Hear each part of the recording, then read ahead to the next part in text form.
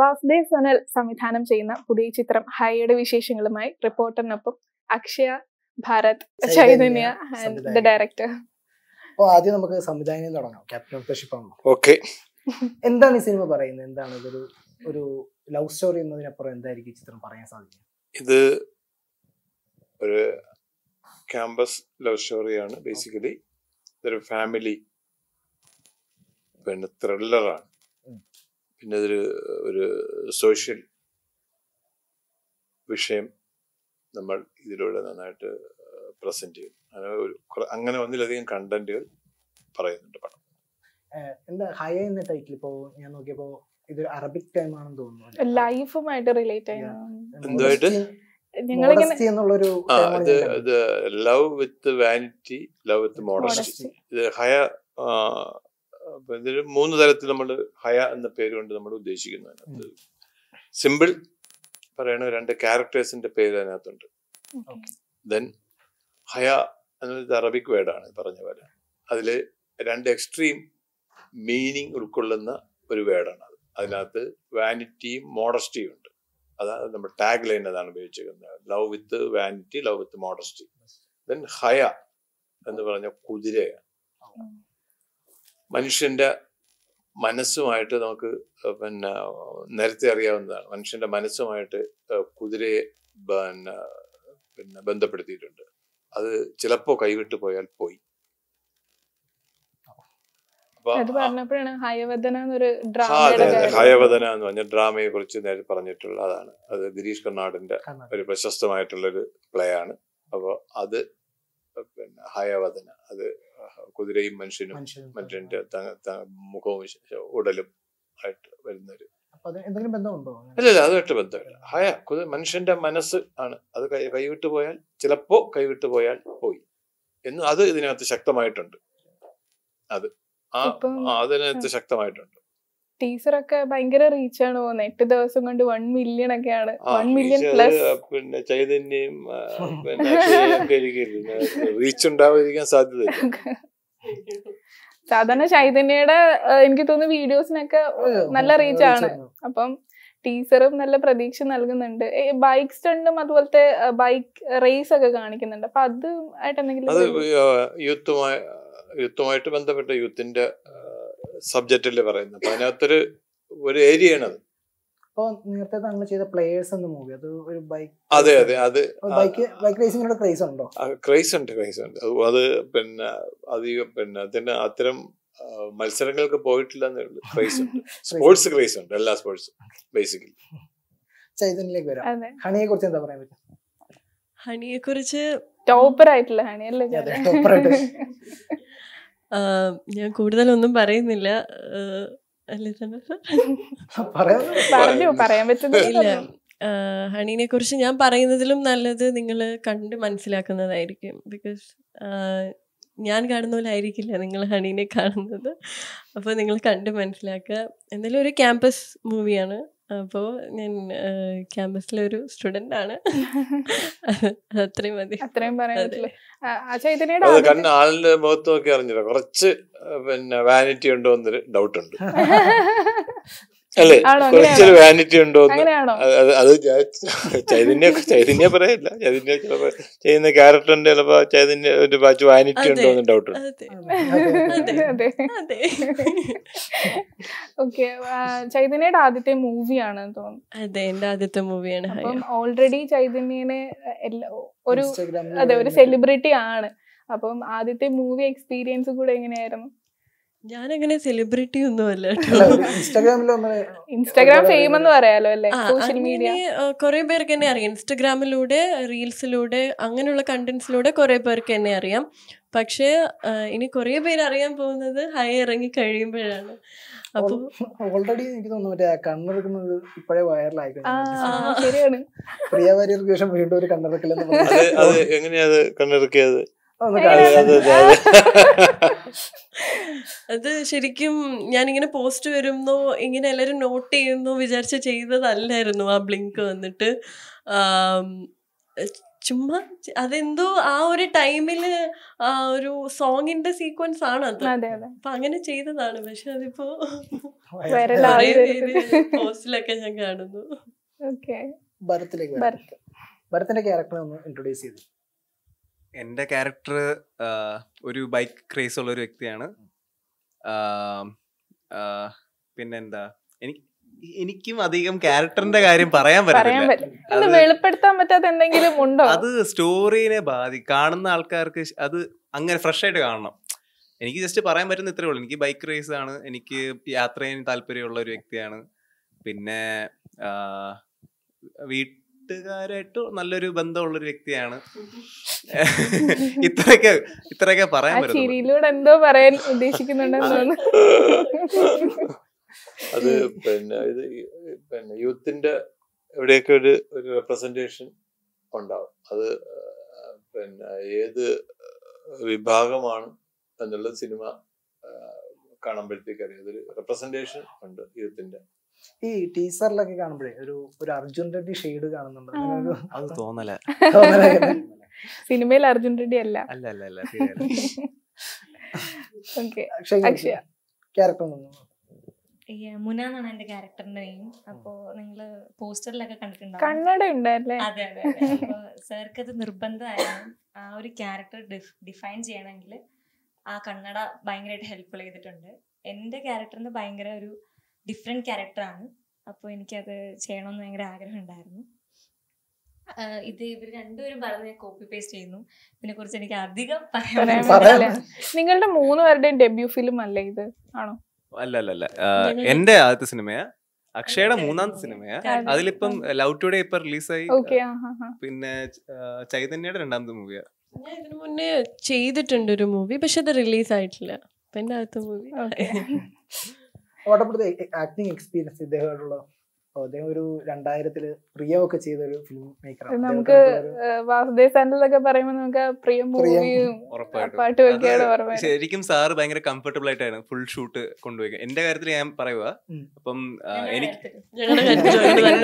നിങ്ങൾ സ്വന്തമായിട്ട് പറയണം എന്റെ കാര്യത്തിൽ സ്റ്റാർട്ട് ചെയ്തത് ഒരു സോളോ മ്യൂസിക് വീഡിയോ വെച്ച് സ്റ്റാർട്ട് ചെയ്ത് സ്റ്റാർട്ടിങ് അത് വെച്ചിട്ടാണ് ചെയ്യുന്നത്. മറ്റേ കൂടെ പാട്ട് കേട്ടിട്ടുണ്ടാകും. അല്ലെങ്കിൽ കേൾക്കണം അല്ലെങ്കിൽ കേൾക്കണം. അടിപൊളി അപ്പം പാട്ടാണ് അടിപൊളി പാട്ടാണ്. അപ്പം അത് അതാണ് സ്റ്റാർട്ട് ചെയ്തത്. ആദ്യം ഷൂട്ട് ചെയ്തത് അതാണ്. അപ്പം അതിന്റെ അകത്ത് ആകെ ചെയ്യുന്ന യാത്ര ചെയ്യുക യാത്ര ചെയ്യുക വീണ്ടും യാത്ര ചെയ്യുക. രണ്ടു ദിവസം ഫുൾ യാത്രയായിരുന്നു.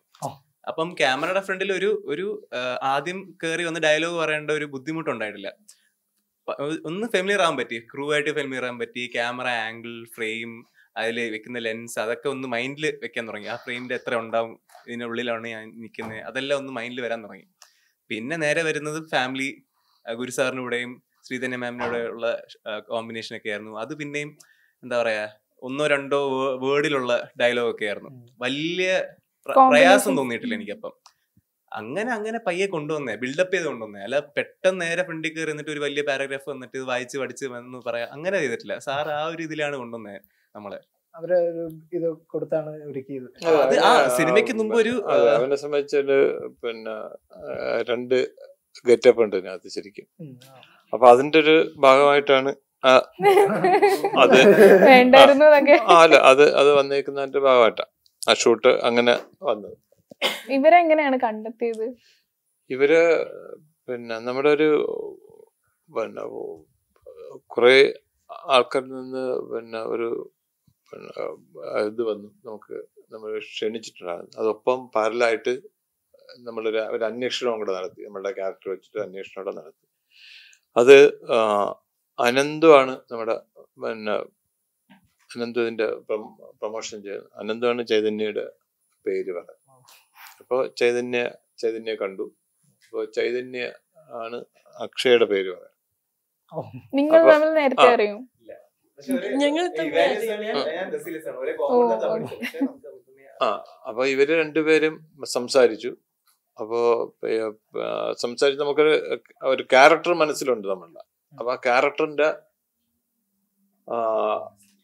അതിന്റെ അതിന്റെ ഒരു ആറ്റിറ്റ്യൂഡും കാര്യങ്ങളും വെച്ചിട്ട് അങ്ങനെ രണ്ടുപേരും കാസ്റ്റ് ചെയ്യപ്പെട്ടതാണ്.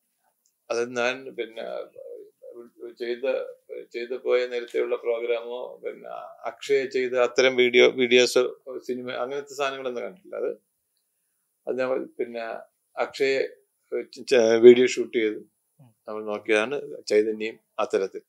അത് നമുക്ക് ഒരു ചൂസിങ് കറക്റ്റ് ആണെന്ന് തോന്നി ഇപ്പോ. ഇപ്പോ. കറക്റ്റ് ചൂസിങ് പിന്നെ പിന്നെ ആ ഭരത്തിലേക്ക് എത്തിയത് വേറെ വേറെ പലരെയും നോക്കി. ഒന്ന് രണ്ട് പേരെ നോക്കി.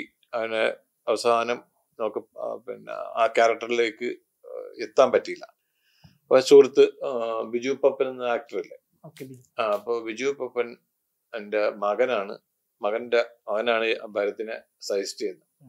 അപ്പോൾ അപ്പോ ഭരത് ഒരു ആക്സിഡന്റ് ആയിട്ട് വീട്ടിൽ കിടക്കുക അപ്പൊ നേരെ അവിടെ ചെന്ന് കണ്ടു. രത്തിനെ കണ്ട് അപ്പൊ നമുക്ക് ആവശ്യമുള്ള ലുക്കിലാണ് നമുക്ക് കിടക്കുന്നത്. ആ ലുക്ക് വെച്ചിട്ടാണ് കാസ്റ്റ് ചെയ്തത് ആ അത് ലുക്ക് വെച്ചിട്ടാണ് ആവശ്യമായിരുന്നു. കാ- കാസ്റ്റ് അവന്റെ അഭിനയ അഭിനയത്തിന്റെ കപ്പാസിറ്റിയോ കാര്യങ്ങളോ അല്ലെങ്കിൽ അവൻ എന്ത് ചെയ്തു എന്ത് ചെയ്തില്ല എന്നുള്ള. അത് വെച്ചിട്ട് അവന് ആ ലുക്ക് വെച്ചിട്ട് കാസ്റ്റ് ചെയ്തു. ബാക്കി നമ്മൾ നമുക്ക് ചെയ്യിച്ചെടുക്കാം എന്നുള്ളൊരു ഒരു മനസ്സിൽ അപ്പോൾ അവനുമായിട്ട് സംസാരിച്ചപ്പോ അവനുള്ള ഒരു ഒരു ഇൻട്രസ്റ്റിംഗ് ഏരിയ ഒക്കെ മനസ്സിലായി. അവന് ഈ ബൈക്ക് റൈഡുമായിട്ട് പിന്നെ ബുള്ളറ്റ് ബുള്ളറ്റ് ലെവൻ പിന്നെ കാശ്മീര് അങ്ങനെ ഒക്കെ അവിടെ ഒന്നുമില്ല all India south India south India അപ്പൊ അപ്പൊ ഈ ഈ സ്ഥലങ്ങളിലൊക്കെ പോയി അവനൊരു ഒരു എക്സ്പീരിയൻസ് ഒരു മൈൻഡ് സെറ്റ് നമ്മളുടെ ക്യാരക്ടറിന് പറ്റിയതാണ്. ആ മൈൻഡ് സെറ്റ് നിന്നിട്ടാണ് നമ്മൾ ഒരു ഇവർക്കെല്ലാം ഒരു ഗ്രൂമിങ് സെക്ഷനിലേക്ക് അവരെ കൊണ്ടുവന്നു ആ ഗ്രൂമിങ് സെക്ഷനിലൂടെ നമുക്ക് വേണ്ട സാധനങ്ങൾ സ്ക്രിപ്റ്റ് വൈസും ഒക്കെ ആയിട്ട് പിന്നെ ഒരു ഗ്രൂമിങ് സെക്ഷനിലേക്ക് പോയി. അവരുടെ ആറ്റിറ്റ്യൂഡും മൈനസും പ്ലസും ഒക്കെ ഞാൻ ആ- ക്യാമ്പിൽ ഫുള്ളായിട്ട് ഞാൻ ഞാൻ ഇരുന്നു.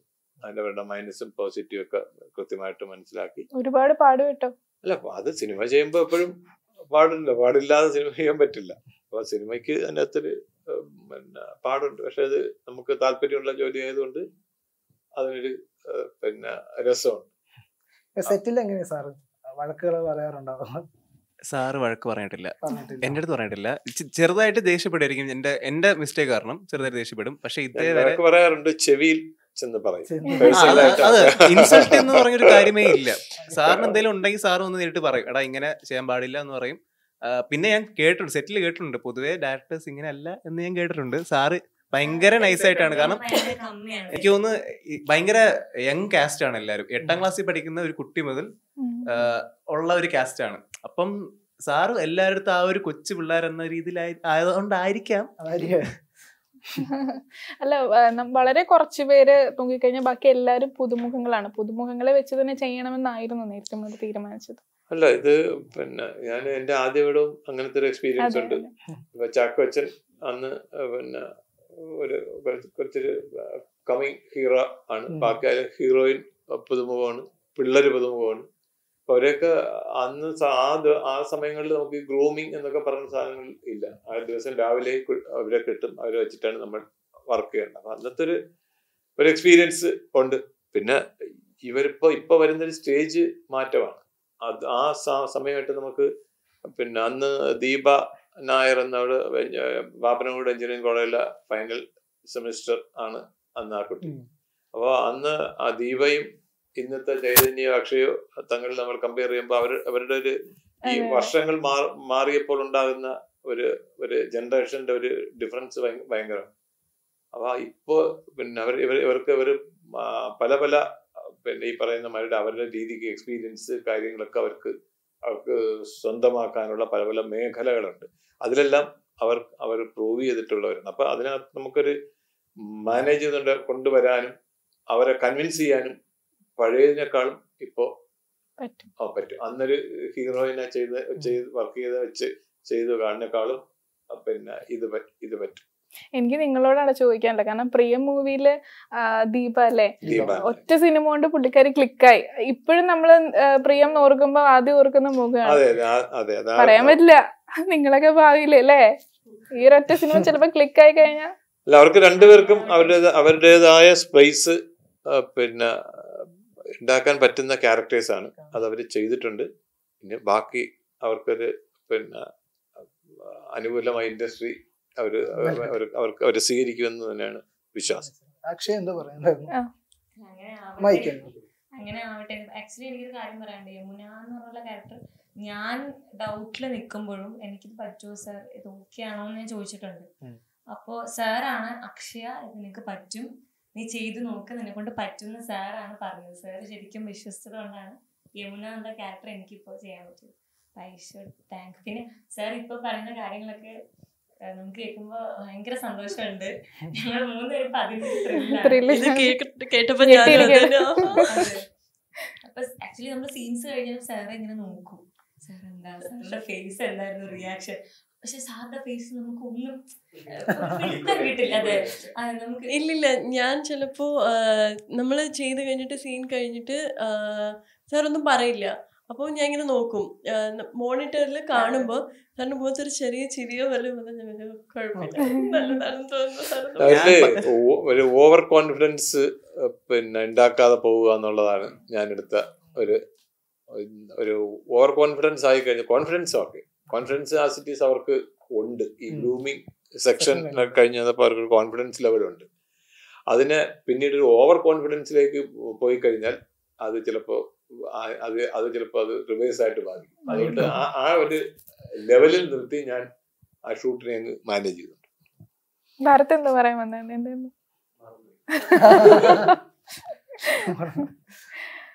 സാർ ഇപ്പൊ ടൂ തൗസൻഡിൽ ഫസ്റ്റ് മൂവി ചെയ്യുന്നു. അതിനുശേഷം പിന്നീട് ഗോഡ്സ് ഗോഡ്സ് കൺട്രിക്ക് മുമ്പ് പ്ലേസ് ചെയ്യാൻ ശേഷം ഗോഡ്സ് കൺട്രി ടൂ തൗസൻഡ് അതെ. എന്താണ് ഇങ്ങനെ ഒരു വലിയ ഓരോ ഗ്യാപ്പ് അത് ഗ്യാപ്പ് വന്നു. ഗ്യാപ്പ് അത് സ്വാഭാവികമായിട്ട് വന്നു. അതിനകത്ത് അത് കുടുംബപരമായിട്ടുള്ള ചില കാര്യങ്ങൾ അതിനകത്ത് വന്നു. പിന്നെ അപ്പൊ അത്തരം സംഭവങ്ങൾ വന്നു. പിന്നെ ഒരു സിനിമ നമ്മൾ പ്ലാൻ ചെയ്തു വരുന്ന പല പല സിനിമകൾ ഇതിന്റെ ഇടയ്ക്ക് പ്ലാൻ ചെയ്തിട്ടുണ്ട്. അത് ചിലത് പിന്നെ സ്കിപ്പായി പോയി. പിന്നെ വരുന്ന സിനിമകൾ അത് നമുക്കത് ഇപ്പൊ ബേഴ്സോ കൺട്രി ആയാലും ഒരു അത് ഭഗതമായിട്ട് ചെയ്ത് അതിനൊരു നമ്മളൊരു പ്രസൻസ് ഓക്കെ ഹൈയും ഞാൻ അത്തരത്തിലൊരു പ്രസൻസ് ഉണ്ടാവുമെന്ന് എന്ന് എന്ന് വിശ്വസിക്കുന്നു. ഇപ്പോ എന്താണ് ഈ ഒരു പുതുമുഖങ്ങൾ അല്ലെങ്കിൽ ഒരു അപ്കമിങ് ആയിട്ടുള്ള ആക്ടേഴ്സിനെ ചൂസ് ചെയ്യുന്നതിന്റെ റീസൺ ഞാൻ എന്റെ എന്റെ എല്ലാ ചെയ്ത സിനിമകളിലെല്ലാം അന്നത്തെ യൂത്തുകളാണ്. ഇപ്പൊ ജയസൂരി ആയാലും ചാക്കോച്ചനായാലും ഫഗത് ഇപ്പൊ ഇവർ. ഇവരെല്ലാം പിന്നെ ആ ആ വിഭാഗത്തിൽ ആ- ഏജ് ഗ്രൂപ്പിൽ പെടുന്ന ആൾക്കാരാണ് അന്നത്തെ അവരുടെ ഏജ് ഗ്രൂപ്പിൽ ഇത് ഒരു ക്യാമ്പസ് മൂവി ചെയ്യുമ്പോൾ എപ്പോഴും ഒരു പുതുമുഖങ്ങൾ ഒരുപാട് പിന്നെ നമുക്ക് പല പലതും നമുക്ക് പ്രതീക്ഷിക്കാതെ ഓഡിയൻസിന് നമുക്കൊരു വേറെ നിൽക്കുന്ന ഒരു ആർട്ടിസ്റ്റിനേക്കാൾ അതിനകത്ത് നിന്ന് അവർക്കൊരു പ്രതീക്ഷ ഉണ്ടാവും. ഇതാകുമ്പോൾ ആൾക്കാർ ഒന്നും പ്രതീക്ഷിക്കില്ല. അവരിൽ നമുക്ക് എപ്പോഴും പുതുമുഖങ്ങൾക്ക് ഓഡിയൻസ് ഒരു അമ്പത് ശതമാനം മാർക്ക് കൊടുക്കും ഒരു ബോണസ് കൊടുക്കും. അപ്പോൾ ഇവർക്ക് ഇവരുടെ ഇവരുടെ ഒരു എൻട്രി അപ്പോൾ അതെല്ലാം ഓഡിയൻസ് അറിഞ്ഞുകൊണ്ടായിരിക്കും ഇവരെ ഈ സിനിമ പിന്നെ കാണാനായിട്ട് എത്തുന്നത്. അപ്പോൾ ഇതിനകത്തൊരു ഫ്രഷ്നെസ് ആ ഏരിയ ഒരുപാട് നമുക്ക് സപ്പോർട്ട് ചെയ്യും. ഒരു ക്യാമ്പസ് ഏരിയ അപ്പോൾ അതിലൂടെ ഒരുപാട് ഒരു പത്ത് ഇരുപത് ഇരുപത്തഞ്ച് പേര് ചെറുതും വലുതും ഒക്കെ ആയിട്ട് ക്യാരക്ടേഴ്സ് ആയിട്ട് ഇതിനകത്തൂടെ വരുന്നത്. അപ്പോൾ അത് പിന്നെ ഇൻഡസ്ട്രിക്ക് അതൊരു ഉപയോഗമാവുകയാണെങ്കിൽ അത്രയും ആർട്ടിസ്റ്റ് നമുക്ക് നമുക്കുണ്ടാവും. അത്രയും ആർട്ടിസ്റ്റ് ഉണ്ടാവും. അപ്പോൾ നമുക്ക് ചൂസ് ചെയ്യാൻ ഒരുപാട് ആൾക്കാരെ കൂടി കിട്ടും. അത് പിന്നെ ഒരു നല്ല വശമാണ്. പിന്നെ ഇതൊരു പുതുമുഖ പടമായിട്ട് ചെയ്യണമെന്ന് ആദ്യമേ നമ്മളൊരു Manoj Manoj writer script writer Manoj Manoj Bharathi നമ്മൾ നമ്മൾ രണ്ടും അങ്ങനെ ഒരു തീരുമാനത്തിൽ ക്യാമ്പസ് ഏരിയ പുതുമുഖങ്ങളായിരിക്കും ബാക്കി പിന്നെ ഇത് ഇതിന്റെ ക്യാരക്ടറിന് പറ്റിയ കാസ്റ്റ് വേണം. എന്ന് തീരുമാനിച്ചു. അങ്ങനെ ഒരു കാസ്റ്റിംഗ് കിട്ടി. അതിൽ പിന്നെ ഞാൻ സാറ്റിസ്ഫൈഡ് ആണ് ശരിക്കും. കാസ്റ്റിംഗിന് വരുമ്പോൾ ഗുരു സോമസുന്ദരൻ ഈ സിനിമയിൽ പ്രധാന ഭാഗം. അദ്ദേഹത്തിലേക്ക് ഇങ്ങനെ ഒരു കഥാപാത്രം അദ്ദേഹം കാരണം മലയാള സിനിമയിൽ ഗുരു സോമസുന്ദരം ഒരു വില്ലൻ ഷെയ്ഡുള്ള കഥാപാത്രങ്ങളാണ് കൂടുതൽ അത് പിന്നെ ഗുരു സോമസുന്ദരം വില്ലൻ ക്യാരക്ടറാണ് അതിനകത്ത് ചെയ്തത് നമുക്ക് അതിനകത്ത് നമുക്ക് ഒരു വില്ലൻ വില്ലനിസം എന്നതിന് ഉപരിയായിട്ട് ഒരു ആക്ടറുടെ പ്രസൻസ് ഭയങ്കരമായിരുന്നു. അത് നമുക്ക് കിട്ടിയിട്ടുള്ള ഒരുപാട് ആക്ടേഴ്സ് ഉണ്ട്. നമുക്ക് മുന്നിലായിട്ട് പോയ തിലകൻ ചേട്ടൻ മുരളിച്ചേട്ടൻ ഇങ്ങനെ വരുന്ന ഒരു ഒരു പെർഫോമൻസിന്റെ ഒരു ഒരു ഒരു ഗംഭീര പിന്നെ എന്താണ് അവസ്ഥകൾ ഉണ്ടാക്കിയിട്ടുള്ള അപ്പോൾ ആ ഗണത്തിലൊക്കെ വരാവുന്ന ഒരു ഒരു ആക്ടർ ആ പെർഫോമൻസ് ആണ്. വില്ലൻ വില്ലനിസം എന്ന് പറയുന്ന ഒരു ടിപ്പിക്കൽ വില്ലൻ ഉണ്ട് ഒരു ആക്ടറുടെ പ്രസൻസ് ആണ്. അപ്പൊ ആ ആക്ടർക്ക് എന്തും ചെയ്യാൻ പറ്റും. എന്ത് ക്യാരക്ടറും ചെയ്യാൻ പറ്റും. അപ്പോൾ അങ്ങനെയാണ് ആ ആ ആക്ടറിലേക്ക് എത്തി. ഈ ക്യാരക്ടർ ബേസിക്കലി ഒരു തമിഴ് റൂട്ടുള്ള ഒരു ക്യാരക്ടറാണ് നമ്മുടെ സിനിമയിൽ. അത് ഒരു മലയാളി സ്ത്രീയെ വിവാഹം കഴിച്ച് ബാംഗ്ലൂർ ബേസ് ചെയ്തിട്ട് വരുന്ന വരുന്ന ഒരാളാണ്. അപ്പൊ പുള്ളിയുടെ പിന്നെ സ്ലാങ്ങും പുള്ളിക്ക് ഉപയോഗിക്കാവുന്ന മലയാള മലയാള വാക്കുകളും ഒക്കെ പുള്ളി ഉപയോഗിച്ച് ഉപയോഗിക്കുന്ന മലയാള വാക്കുകളൊക്കെ ഇതിനകത്ത് അങ്ങനെ പിന്നെ അവർ അത് അതിനൊരു ജെനുവിനിറ്റി ഉണ്ട്. പിന്നെ ആക്ടർ ആക്ടർ വൈസ് പിന്നെ പുള്ളിക്ക് നമ്മൾ പിന്നെ ഗൈഡ് ചെയ്താൽ മതി പുള്ളി ആ ഏരിയയിലേക്ക്. അപ്പൊ അതിനകത്ത് പുള്ളി ഈ ക്യാരക്ടർ നന്നായി ചെയ്തിട്ടാണ് ഒരു പിന്നെ ഹീറോയുടെ അച്ഛൻ ആയിട്ടാണ് ഉം. ഒരു ഒരു ഈ ഈ ഇപ്പോഴത്തെ നമ്മളുടെ ജനറേഷനിൽ പിന്നെ ഈ സൊസൈറ്റിയിൽ ഇപ്പോ ഈ രക്ഷകർത്താക്കൾ അനുഭവിക്കുന്ന ഒരു ടെൻഷനും പെയിനും ഉണ്ട്. ഇപ്പോഴത്തെ സൊസൈറ്റി നമ്മളുടെ സൊസൈറ്റി മൂവ് ചെയ്തുകൊണ്ടിരിക്കുന്ന ഒരു ഒരു സ്റ്റേജിൽ. ന്യൂക്ലിയർ ഫാമിലി ആണെങ്കിലും ഒരാളെ ഉള്ളു എങ്കിലും ആ എപ്പോഴും നമ്മൾ ഈ സൊസൈറ്റിയിൽ ഉണ്ടാകുന്ന ചില പ്രശ്നങ്ങൾ എപ്പോഴാണ് തന്റെ മകളോ മകനോ വഴി തന്റെ കുടുംബത്തിലേക്ക് കയറി വരുന്നത് എന്ന് പ്രതീക്ഷിക്കാത്ത എനിക്ക് ഒന്ന് ഒരു അച്ഛനും അമ്മയും ഈ ഈ സമയത്ത് ഉണ്ടായാലും അത്രയും ഗൗരവകരമായിട്ടുള്ള ചില പിന്നെ വിഷയങ്ങളാണ് നമ്മുടെ പിന്നെ സൊസൈറ്റിയിലൂടെ നടന്നത്. അപ്പൊ അതിന്റെ ഒരു ഒരു ഒരു ഒരു റെപ്രസെന്റേഷൻ ആണ് ഗുരു സോമസുന്ദര ആ അദ്ദേഹം ആ ക്യാരക്ടറിൽ അദ്ദേഹം ആ ആ തരത്തിൽ ഒരു സാധാരണ അച്ഛന്റെ ടെൻഷൻ അത് നന്നായിട്ട് ഒരു ഗുരു സോമസുന്ദര ഇതിനകത്ത് ചെയ്തു എങ്ങനെയാണ് ഭരത്? മിന്നൽ മുരളിയിലെ മിന്നൽ അതായത് സൂപ്പർ വില്ലൻ അച്ഛനായിട്ട് വന്നപ്പോൾ ഉള്ള ഒരു എക്സ്പീരിയൻസ് ആദ്യം വിശ്വസിക്കാൻ പാടായിരുന്നു. കാരണം എന്താ പറയാ ആ ഒരു സിനിമ ഭയങ്കരമായിട്ട് എനിക്ക് ഭയങ്കര ഇഷ്ടമുള്ള ഒരു സിനിമയായിരുന്നു. ഭയങ്കര ഇഷ്ട ആ ഇറങ്ങിയ ദിവസം തന്നെ ഭയങ്കര ഹൈപ്പ് കൊടുത്ത് നമ്മൾ ഫ്രണ്ട്സ് ഒക്കെ ആയിട്ട് ഹോം തിയേറ്ററിലൊക്കെ പോയി ഭയങ്കര ഹൈപ്പിൽ കണ്ട സിനിമ. അപ്പം ആദ്യം നേരിട്ട് കാണുമ്പം തന്നെ ഞാൻ ശരിക്കും പറഞ്ഞാൽ ഇന്നാണ് നേരെ ശരിക്കും സംസാരിക്കുന്നത് സാറിന്റെ അടുത്ത് ഞാൻ ഷൂട്ടിന്റെ സമയത്തൊന്നും സംസാരിക്കാറില്ല. കാരണം ആ റെസ്പെക്ട് വെച്ചൊരു പേടിയുണ്ടായിരുന്നു. ഞാൻ അടുക്കാറില്ല അധികം. അടുത്തുപോയി അടുത്ത് പോയി ഏഹ്, അടുത്ത് ജോളിയായിട്ട് സംസാരിക്കാൻ അങ്ങനെ ഒന്നും പോയിട്ടില്ല ലൂസ് ടോക്കിനൊന്നും പോയിട്ടില്ല. ആകപ്പാടെ ഏഹ്, ഷൂട്ടിന്റെ സമയത്ത് ഒരു സെൽഫി എടുത്തു. അത് രണ്ടാഴ്ചക്ക് ശേഷം സാർ ഒരു സെൽഫി എടുത്തോട്ടേന്ന് ചോദിച്ച് അങ്ങനെ പോയി എടുത്തേ കാരണം എനിക്ക് അത്രയും വിശ്വസിക്കാൻ പറ്റുന്നില്ല ഇങ്ങനത്തെ ഒരാളുടെ കൂടെ എനിക്ക് കൂടെ ഒരു സ്ക്രീൻ ഷെയർ ചെയ്യാൻ പറ്റുമെന്നും അങ്ങനെയൊന്നും വിചാരിക്കാത്ത ഒരു കാര്യമായിരുന്നു. അപ്പം എന്റെ അച്ഛനായിട്ട് ആക്ട് ചെയ്യുക ഒരു സിനിമയിൽ അങ്ങനെ അങ്ങനെ വന്നപ്പം അത് കുറേ എക്സ്പീരിയൻസ് ഉണ്ടായിരുന്നു. കുറേ കാര്യങ്ങൾ പഠിക്കാൻ പറ്റി. സാറിൽ നിന്ന് കുറെ കാര്യങ്ങൾ പഠിക്കാൻ പറ്റി. അത് വലിയൊരു എക്സ്പീരിയൻസ് ആയിരുന്നു. ഇപ്പൊ ഇന്ന് ഈ പ്രൊമോഷൻ പരിപാടികളൊക്കെ വന്നപ്പോ അദ്ദേഹം എങ്ങനെയാണ്? ഇന്നത്തെ ഒരു പേടി മാറിയോ ഭയങ്കരമായിട്ട് മാറി. നമ്മൾ അവിടെ നമ്മളവിടെ സ്നൂക്കർ കളിച്ചോണ്ടിരിക്കുകയാണ്. ചൈതന്യ ഉണ്ടോ? അദ്ദേഹത്തിന് ഇപ്പൊ കോമ്പിനേഷൻ സീൻസ് ഉണ്ടോ? എനിക്ക് ഒരു സീൻ എത്ര സീൻസ് ഉണ്ടോ ഏകദേശം? ഒന്നോ രണ്ടോ സീൻസ് എനിക്ക് അതെ ഒന്നോ. രണ്ടോ. ചൈതന്യ സോഷ്യൽ മീഡിയയിൽ വ്യൂവേഴ്സ് ഉള്ള പോലെ ഒരുപാട് ട്രോളുകൾ ഏറ്റുവാങ്ങുന്ന ഒരു വ്യക്തി കൂടാണ് അല്ലേ? അപ്പൊ അതിനോട് എങ്ങനെയാണ് പ്രതികരിക്കാറുള്ളത്? അതിനോട് ഞാൻ പ്രതികരിച്ചുകൊണ്ടിരുന്നാൽ നമ്മുടെ ടൈം വേസ്റ്റ് ചെയ്തുകൊണ്ടിരിക്കുകയാണ്. അത് വരും.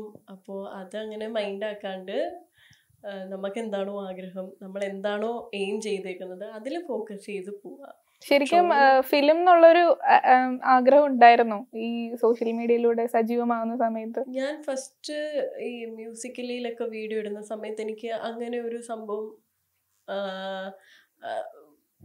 എനിക്ക് എത്തിപ്പെടാൻ പറ്റാത്ത ഒരു സ്ഥലമാണെന്നാണ് ഞാൻ വിചാരിച്ചിരുന്നത്. പക്ഷെ പിന്നെ ഞാൻ ശ്രമിക്കാൻ തുടങ്ങി. പിന്നെ ഇപ്പം ചേച്ചി പറഞ്ഞ പോലെ നെഗറ്റീവ്സും കാര്യങ്ങളും ഒക്കെ വന്നപ്പോഴും നമ്മൾ അതൊക്കെ നോക്കാണ്ട് പിന്നെയും ട്രൈ ചെയ്തു. പിന്നെയും ട്രൈ ചെയ്തു. അങ്ങനെ അങ്ങനെ എനിക്കറിയില്ല എങ്ങനെ എത്തിപ്പെടണം എന്നറിയില്ല. അപ്പം ഞാൻ കണ്ട എന്താ പറയുക വഴികളാണ് ഇതൊക്കെ അപ്പം അങ്ങനെയാണ് ഞാൻ ഓ കഴിഞ്ഞ ദിവസം ചില അഭിമുഖങ്ങൾ പ്രിയ ഭാര്യ പറയുണ്ടായി പ്രിയ ഭാര്യയെ ഈ ട്രോളുകൾ അവർ അദ്ദേഹത്തിന് ഒരുപാട് ട്രോളുകൾ വന്നിട്ടുണ്ട് അപ്പൊ അത് അവരെ ഒരുപാട് സ്ട്രോങ് ആക്കി. പിന്നീട് ഇങ്ങോട്ടുള്ള ജേണിയിൽ അങ്ങനെയാണ് ചൈതന്യയുടെ ഒരു എക്സ്പീരിയൻസ് അങ്ങനെ സ്ട്രോങ് ആക്കുന്നുണ്ടോ ഇത്തരം ട്രോളുകൾ? ഓഫ് ഓഫ്കോഴ്സ് സ്ട്രോങ് ആക്കുന്നുണ്ടോ എന്ന് ചോദിച്ചാൽ ആക്കും. ബിക്കോസ് സി ഈ ട്രോൾസ് ഒക്കെ വരുമ്പോൾ നമ്മൾ കാണും.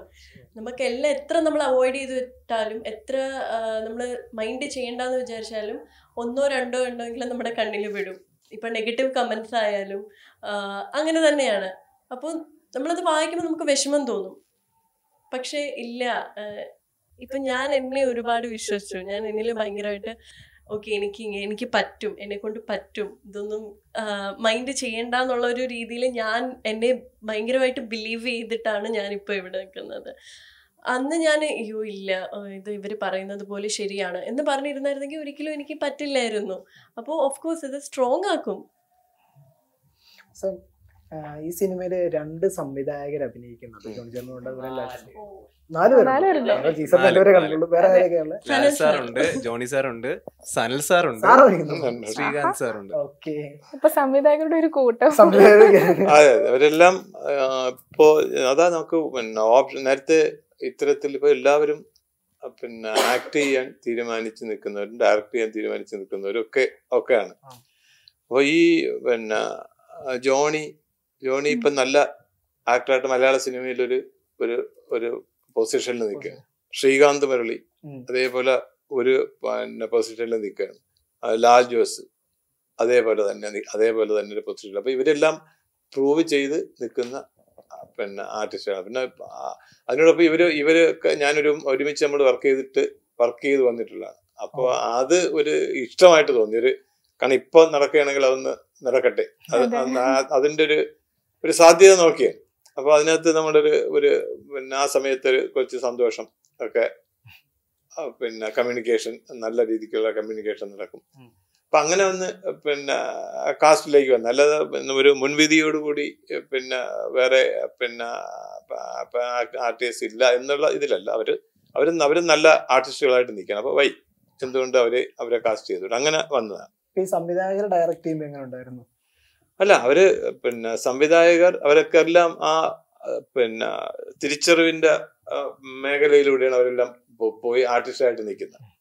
ഡയറക്ടർ ചെയ്യുമ്പോൾ ഡയറക്ടറെ പിന്നെ അനുസരിക്കുക എന്ന് പറയുന്ന ഒരു ഒരു രീതി അവർക്കുണ്ട്. അത് ആ ആ രേഖ അവർ അവർ സൂക്ഷിക്കും അതിനകത്ത് അവർ കറക്റ്റ് പ്രൊഫഷണൽസ് ആണ്. ആക്ടർ എന്നുള്ള രീതിക്ക് കറക്റ്റ് പ്രൊഫഷണൽസ് ആണ്. ഡയറക്ടർ വൈസ് അവർ ഒരുപാട് പ്രൂവ് ചെയ്തിട്ടുള്ളത് ഭാരത്തിൽ എന്താ പറയണ്ട്. സാർ ആക്ച്വലി ഒരു ആക്ടറാണ്. അതെ. Sir school Thrissur school of ഡ്രാമയിൽ പഠിച്ച ഒരു വ്യക്തിയാണ്. അതെ അതെ. എങ്ങനെയുണ്ടായിരുന്നു എ- എ- എങ്ങനെ ഉണ്ടായിരുന്നു ജോണി ചേട്ടനോട് ഇപ്പൊ സി ഡി മൂസയൊക്കെ ചെയ്ത്? അദ്ദേഹത്തിന്റെ ഒരു കോമഡി അദ്ദേഹത്തിന്റെ ഹ്യൂമർ സെൻസ് ഒക്കെ എങ്ങനെ ഉണ്ടായിരുന്നു? എനിക്ക് അങ്ങനെ ലൈക് ഞാൻ ഞാൻ പറയില്ലേ എനിക്ക് ലൈക് അത്ര അത് അവരൊക്കെ ലെജൻസ് ആണ്. അത് അതുകൊണ്ട് നമ്മൾ അത് തൊടാൻ പോകാറില്ല മാറിയിരിക്കും. ഒരു ഒരു പേടി ഒരു പേടി. ഇനി എങ്ങാനും സംസാരിച്ച് കുളമായാലോ എന്നുള്ള ഒരു പേടി. റെസ്പെക്ട് കൊണ്ടുള്ള ഒരു. പേടി.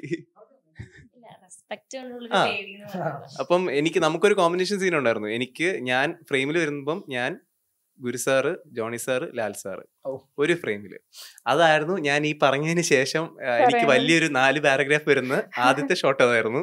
അത് ഞാൻ തെറ്റിച്ചു ഒരു എട്ട് എട്ട് എട്ട് പത്ത് ടേക്ക് എന്തോ പോയി അന്ന്. ആദ്യമായിട്ട് അത്രയും ടേക്ക് പോന്നു. ആ- ഇത്രയും ഇതിൽ. കാരണം അത്രയും നാളെ ഫ്രീ നല്ലൊരു ഫ്ലോയിൽ വന്നിട്ട് പെട്ടെന്ന് ഇത്രയും പാരഗ്രാഫ് വന്നപ്പം ഒന്ന് പതറിപ്പോയി. കാരണം ഫ്രണ്ടിൽ നിൽക്കുന്ന ആൾക്കാരാരാന്ന് ഒന്ന് നോക്കി നിൽക്കുമ്പോൾ എനിക്ക് പറ്റിപ്പോയി ആ സമയം. പക്ഷെ ജോണി സാർ ഭയങ്കര സപ്പോർട്ടീവ് ആയിരുന്നു. ജോണി സാർ കൈയൊക്കെ അടിച്ച് എടാ മോനെ നിന്നെ കൊണ്ട് പറ്റൂടാന്ന് തുടങ്ങി അടുത്ത ഷോട്ട് അപ്പൊ എല്ലാ ക്രൂ എല്ലാരും കൈയടിച്ചു. എന്നിട്ട് എടാ നിന്നെ കൊണ്ട് പറ്റുമെന്ന് തുടങ്ങി ചിയറപ്പ് ചെയ്തു. അടുത്ത ഷോട്ടിൽ ഓക്കെ ആക്കി. ഡൺ ജോണി സാർ ഹാപ്പി എല്ലാരും ഹാപ്പി. പുള്ളിക്കാരൻ നല്ല- നല്ലൊരു സപ്പോർട്ടായിരുന്നു സപ്പോർട്ടായിരുന്നു ശരിക്കും. ഇപ്പോ സാർ സാറിന്റെ ക്യാരക്ടറിനെ കുറിച്ച് എന്ത് പറയാം അത് എന്റെ അങ്ങനെ ഞാനൊരു ക്യാരക്ടർ ആയിട്ടല്ല അല്ല. ചെയ്തേക്കുന്നത് ഒരു പ്രസൻസ് അത്രേ ഉള്ളൂ. എന്റെ ആ, അതെ അതെ ഒരു പ്രസൻസ് എന്നുള്ള രീതിക്കേ ഉള്ളൂ. ഒരു ക്യാരക്ടറായിട്ട് പിന്നെ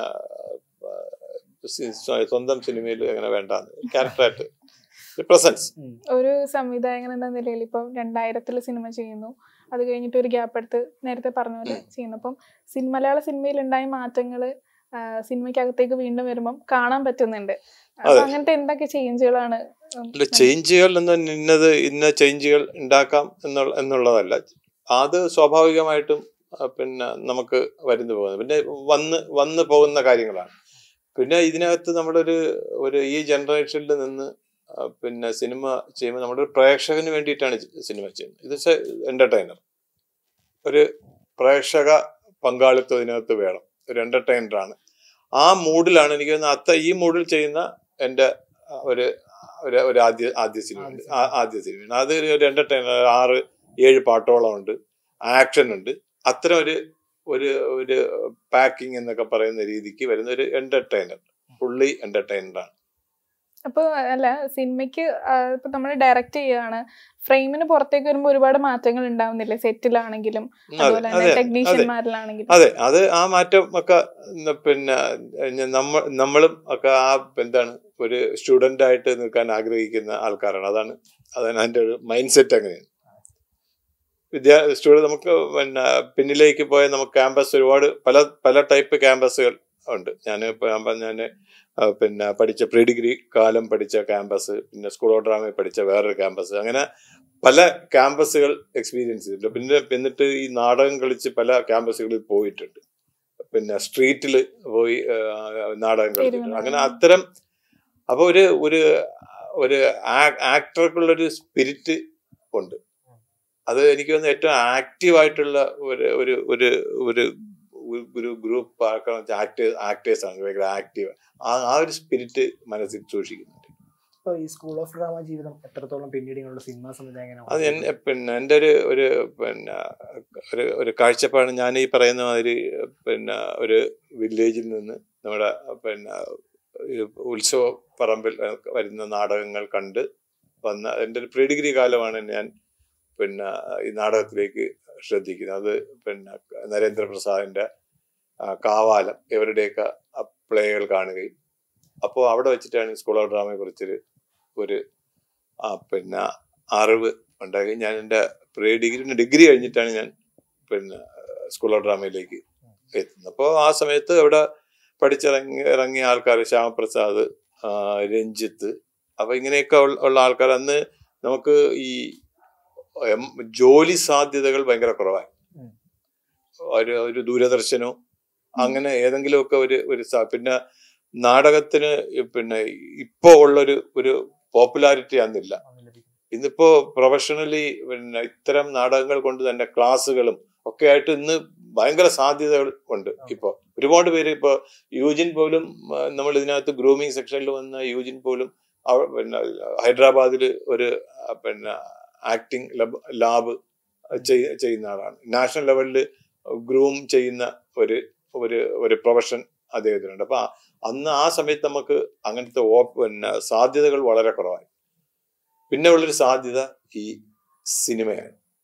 അപ്പൊ എന്നെ പിന്നെ രഞ്ജിത്തിനെയൊക്കെ സിനിമയിലേക്ക് കൊണ്ടുവന്ന അലക്സ് കടവിൽ എന്ന പാറോട്ട് വന്നിട്ട് വേണ്ടത്തുള്ള പരുത്തിപ്പാറ പിന്നെ മരുവാന്യസിൽ പിന്നെ ആദ്യകാല സ്റ്റുഡന്റ് ആയിരുന്നു. അപ്പോൾ അലക്സ് ആണ് ശരിക്കും രഞ്ജിത്തിന് രഞ്ജിത്തിനെ മെയ് മാസ പുലരിയിൽ പ്രൊഡ്യൂസ് ചെയ്ത അലക്സ. രഞ്ജിത്തിനെ സ്കൂൾ ഡ്രാമിൽ ഡ്രാമ പഠിക്കുക സ്കൂൾ ഡ്രാമിൽ ഡ്രാമയിൽ വെച്ചിട്ടാണ് ആണ് മെയ് മാസ പുലരിയിലൊക്കെ രഞ്ജിത്ത് എഴുതുന്നത്. അപ്പൊ രഞ്ജിത്തിനെ കൊണ്ടുവന്ന ആ അലക്സ് ആണ് എന്നെയും അലക്സ് ഇന്നില്ല അലക്സ് മരിച്ചുപോയി. അലക്സ് ആണ് എന്നെയും ഈ സിനിമയിലേക്ക് കൊണ്ടുവന്നത്. ഇപ്പോ ഇപ്പൊ സിനിമാ നിരൂപണങ്ങൾ എന്താ പറയാ പടം റിലീസ് ചെയ്ത ആദ്യ മണിക്കൂറുകൾ കഴിയുമ്പോൾ തന്നെ റിലീസ് ചെയ്യണ്ട. ഒരു ഫസ്റ്റ് ഹാഫ് ഒക്കെ ആവുമ്പോ തന്നെ റിവ്യൂ ഇടുന്ന ആ ഒരു ഒരു ആ ഒരു നിലയിലേക്ക് സോഷ്യൽ മീഡിയ ഒക്കെ മാറുന്നുണ്ട്. അപ്പൊ അതിന് റിലേറ്റഡ് ആയിട്ടുള്ള ഒരു കോൺട്രവേഴ്സി രണ്ടു മൂന്ന് ദിവസം സോഷ്യൽ മീഡിയയിൽ നടന്നുകൊണ്ടിരിക്കുകയാണ് അത് അത് നമ്മളിത് പിന്നെ നമുക്ക് ഒരു പിന്നെ ആൾക്കാർക്ക് അത് പറയാനുള്ള അവകാശമുണ്ട്. ഒരു ഒരു നമ്മൾ പ്രസന്റ് ചെയ്യുന്ന സിനിമയാണ് അത് ഇഷ്ടപ്പെടുന്നവരുണ്ടാവും ഇഷ്ടപ്പെടാപ്പെടാത്തവരുണ്ടാവും അത് തീർച്ചയായിട്ടും പറയാനുള്ള അവകാശമാണ് അവകാശമുണ്ട്. അപ്പൊ അതിനെ നമുക്ക് ഒരിക്കലും നമുക്ക് പിന്നെ ഇത് പറയാതെ ഓരോരുത്തരുടെ ആറ്റിറ്റ്യൂഡാണ് പിന്നെ ഇത് ഇത് ഇത് ഒരു സിനിമ നമ്മൾ പിന്നെ പിന്നെ മുമ്പിലേക്ക് കൊണ്ടുവരുമ്പോൾ നമ്മളൊരു എപ്പോഴും പടം വിജയിക്കുക അല്ലെങ്കിൽ നമ്മൾ പറയുന്ന സബ്ജക്റ്റിനോടുള്ള നമ്മളുടെ വിശ്വാസം ഇതിനകത്തൊരു ഒരു അങ്ങനെ ഒരു ഹാർഡ് വർക്ക് ഇതിന്റെ ഇതിന്റെ പിന്നിലുണ്ട്. ഹാർഡ് വർക്ക് ഇതിന്റെ പിന്നിലുണ്ട്. അപ്പോൾ അത് നമുക്ക് പിന്നെ കാണാൻ വരുന്ന ഓരോ വ്യക്തികളും ഇൻഡിപെൻഡന്റ് ആണ്. അപ്പോൾ അവർക്ക് അവരെ ഒരു ഗ്രൂപ്പായിട്ട് ഇതിലേക്ക് എത്തിക്കുക അവരുടെ അവർ അവരെ അവരെ അവരെ സാറ്റിസ്ഫൈ ആക്കുക എന്ന് പറയുന്ന ഒരു ഉത്തരവാദിത്വം നമുക്കുണ്ട്. അവരെത്താണ് അവർ തരുന്ന അവർ പൈസ വരുന്നത് ആ പൈസയാണ് നമ്മളുടെ എല്ലാം എന്നിരുന്നാൽ പോലും ഒരു ഫസ്റ്റ് ഹാഫിന് സിനിമ മുഴുവൻ കണ്ടു കഴിഞ്ഞ് അതിന് അഭിപ്രായം പറയുന്നതാണെന്നല്ല അല്ലെങ്കിൽ ഫസ്റ്റ് ഹാഫ് കഴിഞ്ഞ് ഫസ്റ്റ് ഹാഫിൽ ഒരു ലാഗ് ഉണ്ടായിരുന്നു. അല്ലെങ്കിൽ അതിന് ശേഷം അങ്ങനെ ഒരു സസ്പെൻസ് പൊളിക്കല്ലേ ഇപ്പം നമ്മുടെ ഇന്ത്യൻ സിനിമകളിൽ മാത്രമേ ഉള്ളൂ ഇടവേള എന്ന് പറയുന്ന ഒരു സാധനം അല്ലേ അതിന് പുറത്തേക്ക് ഇല്ല. കാരണം ഒന്ന് ഒന്നേ മുക്കാൽ മണിക്കൂറോ മാക്സിമം രണ്ട് മണിക്കൂറോ മാത്രമാണ് ഇന്ത്യൻ സിനിമയ്ക്ക് പുറത്ത് കണക്ക് എന്ന് പറയുന്നത്.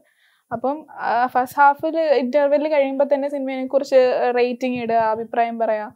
അതിനെ കുറിച്ച് എന്താണ്? അത് റേറ്റിംഗ് അത് പിന്നെ അതിപ്പോ നമ്മൾ നമ്മൾ ഇത് പിന്നെ ഈ ഇതിൽ മാത്രമല്ല എല്ലാ പിന്നെ പൊളിറ്റിക്സിലായാലും എല്ലാ ആൾക്കാർ കാര്യങ്ങൾ തുറന്ന് തുറന്ന് പറയുന്നുണ്ട്. അത് ഒരു നമ്മൾ കൊണ്ടുവരുന്ന ഒരു പ്രോഡക്റ്റിനെ എത്രത്തോളം ബാധിക്കും എന്നുള്ളതും കൂടെ നം- പിന്നെ അതിനെ ബേസ് ചെയ്തിട്ടാണ് സിനിമ നിൽക്കുന്നത്. ആ ഒരു പിന്നെ എഴുതുന്ന ഒരു ഒപ്പീനിയൻ ഒരു ഇന്റർവ്യൂ കഴിഞ്ഞിട്ടോ അല്ലെങ്കിൽ തിയേറ്ററിനകത്തിരുന്നിട്ടോ ഫസ്റ്റ് ഹാഫ് നടന്നുകൊണ്ടിരിക്കുമ്പോൾ എഴുതുന്ന ഒരു ഒപ്പീനിയൻ എന്ന് പറയുന്നത് ഒരു നൂറ് പേരുടെ പിന്നെ മുമ്പിലെങ്കിലും ആ അത് അത് ചെല്ലും. അപ്പൊ ഇതൊരു നമ്മളെല്ലാം ഒരു ഒരു കൂട്ടായിട്ടുള്ള ഒരു ഒരു ഗിവ് ആൻഡ് ടേക്ക് ഒരു പരസ്പര ധാരണയിൽ പോയാൽ മാത്രമേ ഇതൊരു ഇൻഡസ്ട്രിയാണ് ഈ ഇൻഡസ്ട്രി കൊണ്ട് ജീ പിന്നെ ജീവിക്കുന്നവരും മറ്റ് എന്റർടൈൻമെന്റ് ഫാക്ടേഴ്സ് അങ്ങനെ ഒരുപാട് കാര്യങ്ങൾ ഈ ഇൻഡസ്ട്രി വഴി പോകുന്നുണ്ട്. അപ്പോൾ ഇൻഡസ്ട്രി നിലനിൽക്കുക എന്ന് പറയുന്നത് പിന്നെ നമുക്ക് പ്രേക്ഷകൻ തരുന്ന ഒരു സപ്പോർട്ടാണ് അപ്പൊ ആ സപ്പോർട്ട് കൂടുകയാണ് വേണ്ടത്.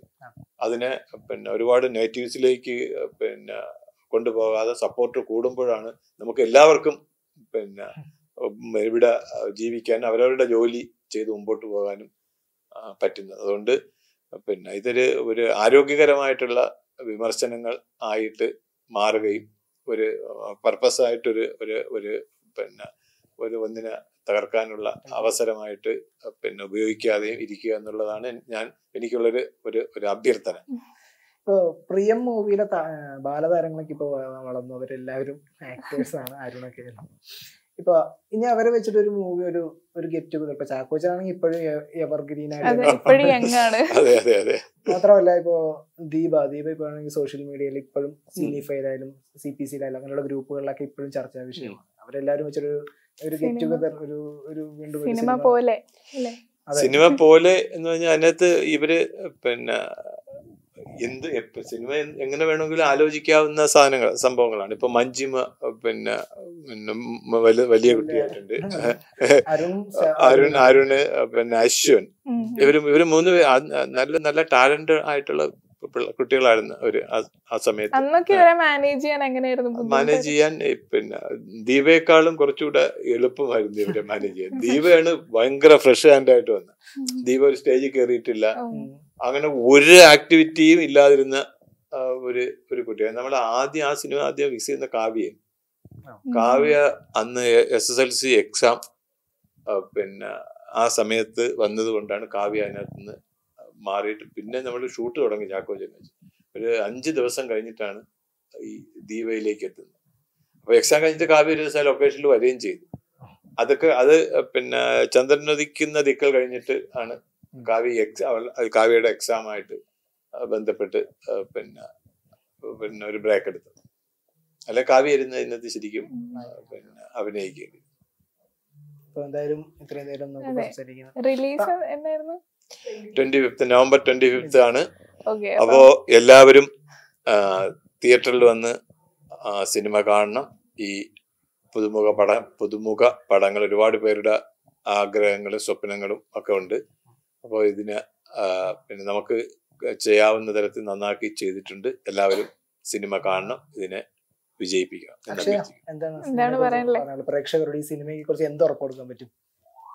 ഇത് നമ്മൾ ട്രെയിലർ കാണുമ്പോൾ തന്നെ മനസ്സിലായിട്ടുണ്ടാവും. ജസ്റ്റ് കോളേജ് മൂവി മാത്രമല്ല ഫാമിലി കൂടെ വന്ന് കാണേണ്ട മൂവിയാണ്. ഒരു സ്ട്രോങ് മെസ്സേജ് ഇപ്പോൾ എല്ലാവർക്കും ഇപ്പൊ സാറ് പറഞ്ഞ പോലെ ഈ ജനറേഷനിൽ പാരൻസും കിഡ്സും തമ്മിൽ നിറയെ ക്ലാഷസ് വരുന്നുണ്ട് അവരുടെ അഭിപ്രായങ്ങളിലും.